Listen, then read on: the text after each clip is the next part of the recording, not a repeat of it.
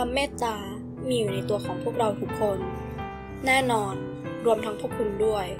อยู่ที่ว่าพวกคุณกล้าที่จะเริ่มลงมือทำแล้วหรือยัง ทุกอย่างพร้อมแล้ว ถ้าพวกคุณไม่กล้าเริ่ม เราจะเริ่มให้คุณเอง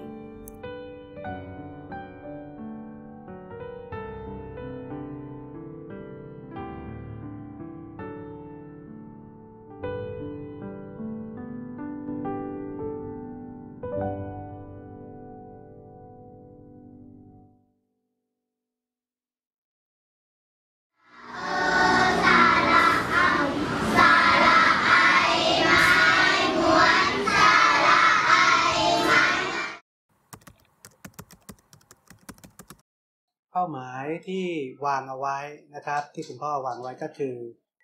พัฒนาคุณภาพชีวิตของคนในชุมชนนะครับเพื่อให้เด็กๆ จะได้สามารถที่จะมีที่เรียน และเด็กๆจะได้สามารถที่จะพัฒนาคุณภาพชีวิตของเขาต่อไปได้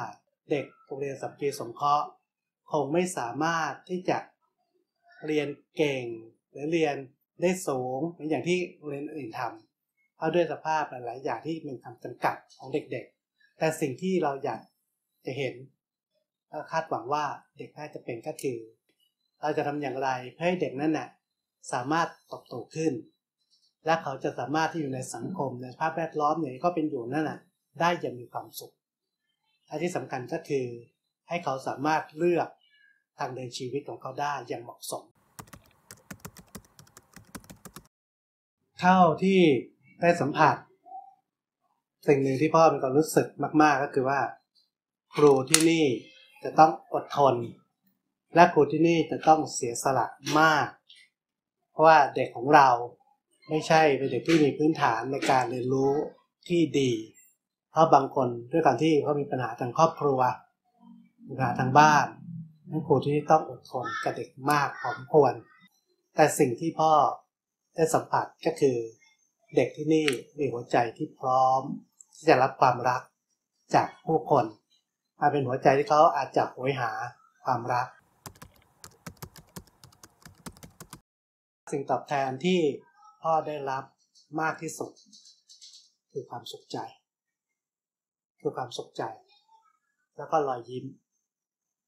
เพราะเวลาที่เราไปสัมผัสกับเด็กๆ เวลาที่พ่อเดินในโรงเรียนอาเด็กเห็นเด็กๆก็จะวิ่งมากอด เป็นความน่ารักของเด็กๆและความน่ารักอย่างเงี้ยมันทำให้เรามีความสุขใจเรารู้สึกว่าสิ่งเราทุ่มเทไปมันไม่เสียหลักถ้ายิ่งเวลาเรามองเข้าไปในดวงตาของเด็กๆที่ดูเหมือนไร้เดียงสาเรามีความรู้สึกว่าเขาอะต้องการสิ่งที่ดีสำหรับชีวิตของเขาและเราสามารถเติมเข้าไปในชีวิตเขาได้ เราก็จะรู้สึกว่านี่คือความสุขที่เราได้ทำ กิจกรรมกับครูเยอะนะอย่างเช่นขายของเนี่ยโอ้ชอบมาก ชอบมาคุณครูมาช่วยครูขายขายของช่วยดูน้อง ช่วยเวลาน้องอ่านหนังสือแบ่งแบ่งหน้าที่ให้ให้ช่วยสอนน้องหน่อย น้องอ่านไม่ได้หรืออะไรเงี้ยช่วยดูแลน้องเวลาน้องเล่น มีแผลมีอะไรไหมให้มาบอกคุณครูช่วยดูแลช่วยอะไรทุกอย่างก็โรงเรียนนี้นะครับ ในนโยบายของสามมณฑลกรุงเทพ ต้องการให้โรงเรียนนี้เป็นโรงเรียนกึ่งสงเคราะห์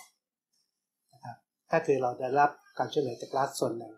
ส่วนที่เหลือเราก็ต้องหาจากที่อื่นมานะครับและทางโรงเรียนนี้ก็เราเก็บค่าธรรมเนียมการศึกษาเทอมละ 560 บาท ครั้งแรก สอนฟรี แล้วก็พอต่อไปเนี่ยเราเริ่มต้องจ้างครูจ้างอะไรนั้นคุณพ่อก็เริ่มมองว่าผู้ปกครองน่ามีส่วนร่วม เราก็เริ่ม เก็บเงินผู้ปกครองวันละบาทนะอันนี้คือจุดเริ่มต้นเรียนนี้ก็คือ เป็นโรงเรียนวันละบาทที่ในผู้คนในชุมชนเนี่ยก็จะพูดถึงเยอะมากเลยว่า มันมีโรงเรียนวันละบาทอยู่ที่นี่นะเพราะปัญหาเรื่องยาเสพติด เราไม่สามารถที่จะแก้ได้มันเป็นปัญหาระดับชาติ เราคงไม่สามารถที่จะบอกว่าให้โรงเรียนของเราไม่มียาเสพติด คงยาก เพราะว่าแหล่งชุมชนแออัดหลายครั้งมันก็มีผู้ค้ายา มันมีหลาย ๆ อย่าง แต่สิ่งเราพยายามป้องกันก็คือ เราพยายามที่จะสอนเด็กแล้วก็บอกเด็กถึงอันตราย ปัญหาเรื่องเกี่ยวกับพ่อแม่ที่ไม่มีเวลาให้ลูกตรงนี้เป็นปัญหาที่เราเจอ แต่เราก็พยายามที่จะให้เด็กมาอยู่กับโรงเรียนให้ได้มากที่สุด ถามว่าเหนื่อยไหม มันก็พอสมควร แต่ว่ามันก็มีความสุขแท้จริงพ่อก็อยากให้พวกเรา ถ้าพวกเรามีโอกาสมาคุยนะมาสัมผัสกับเด็กๆนี่เราก็จะรู้ว่าเป็นความสุขเป็นความเหนื่อยเป็นยังไง ถ้าเราเห็นแม้ว่าเราจะเหนื่อยกับเด็กๆบ้างบางทีเด็กอาจดื้อเด็กอาจโซนแต่เราเห็นความน่ารักอันเด็กๆและมันก็จะทำให้เรามีความสุขเหนื่อยมากไหมมันมันยังไม่เหนื่อยมันยังไม่ไม่มีไฟอยู่มันยังมีไฟอยู่ยังมีหลาย ๆ เรื่องที่ ที่ครูยังอยากจะทำอยู่ แต่อาจจะมีเรื่องบางจังหวะจังหวะคือเรื่องของข้อจำกัด แต่ตอนนี้เราก็พยายามถึงยังทำไม่ได้ก็ค่อย ๆทำไปเราก็ยังมีไฟกันอยู่ เพราะว่าพวกครูที่นี่ถึงจะอายุค่อนข้างที่จะเยอะแต่ครูเขาก็ยังมียังมีใจอยู่แล้วก็มีครูครูใหม่ ๆ เข้ามาเนี่ยมันก็ทำให้โรงเรียนมีสีสันมีไฟขึ้นมาใหม่บ้าง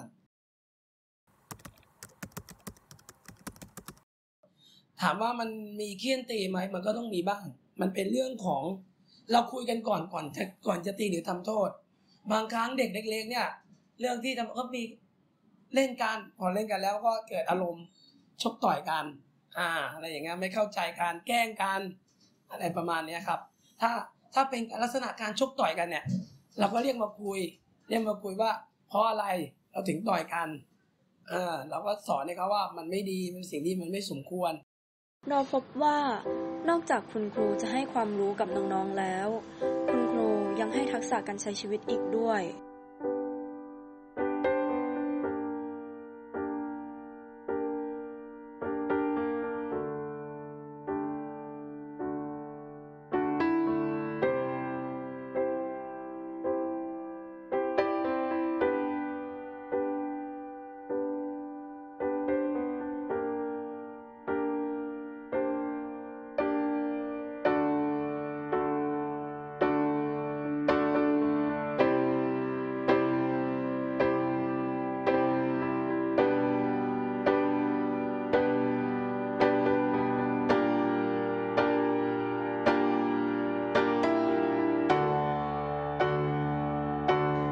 เรา